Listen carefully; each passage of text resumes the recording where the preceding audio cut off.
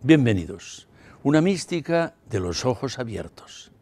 Comentando la próxima etapa del Congreso que celebramos en Barcelona sobre la pastoral de las grandes ciudades, recordé un documento cristiano del principio del siglo II de la era cristiana, la famosa epístola a Diogneto. Es un texto emblemático de cómo era la presencia cristiana en aquella sociedad mayoritariamente pagana, en la que los cristianos eran una minoría, pero una minoría con conciencia de hacer una aportación valiosa y nueva a toda la sociedad.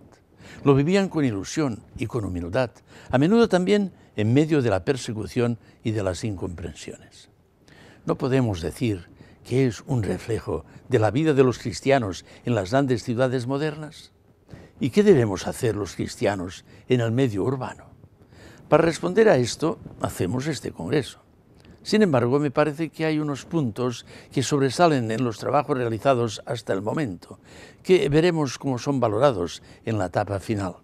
En primer lugar, hay que crear células comunitarias de la fe, es decir, verdaderas comunidades cristianas en una situación del pluralismo cultural y religioso, incluso a menudo religioso, o el creyente tiene un lugar de abrigo y de ayuda o no podrá subsistir como tal. Necesita el apoyo, necesita el respaldo de unas comunidades cristianas, la compañía cercana y cordial de otras personas que, como él o como ella, viven en la intemperie y quieren ser testigos del crucificado y resucitado en estas circunstancias. Y en segundo lugar, es necesario que sea una fe con sensibilidad solidaria. Eso también nos llega de los primeros tiempos de la Iglesia, como nos recordó Benedicto XVI en su encíclica sobre la caridad. Los primeros cristianos eran tan solidarios que incluso suscitaban la admiración del emperador Juliano, llamado el apóstata, porque quería volver al paganismo como religión homogénica del imperio pero que recomendaba copiar de los cristianos su sentido social, sus redes de ayuda material a los más débiles de la sociedad. El cristianismo no puede perder la pasión por la justicia en un mundo de tantas desigualdades injustas. Y no es una tarea fácil. La Iglesia no puede asumir la responsabilidad de hacer ella sola la sociedad más justa posible. Pero no puede desentenderse de los problemas sociales y de los pobres. El Papa Francisco quiere una iglesia pobre y para los pobres. Los cristianos, en el mundo plural y secularizado de hoy, estamos llamados a vivir la experiencia del Dios que es amor y que se nos ha manifestado en Cristo como autodonación de Dios Padre y de su Espíritu.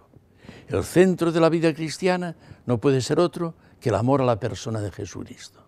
A esto se refería el teólogo Karl Rahner cuando, hablando de la espiritualidad del futuro, escribía que el cristiano de mañana será místico o no será cristiano. Estamos llamados a vivir la mística, pero una mística de los ojos abiertos, como decía el teólogo Juan Bautista Metz en una expresión muy gráfica con ojos abiertos se quiere decir con una mirada realista al entorno, con una mirada de compasión hacia las necesidades del prójimo. Se trata de unir estos dos elementos clásicos, mística y solidaridad, contemplación y acción, elementos que tienen el centro el amor a Dios y el amor y el servicio a los hermanos. Hasta la semana próxima, si Dios quiere.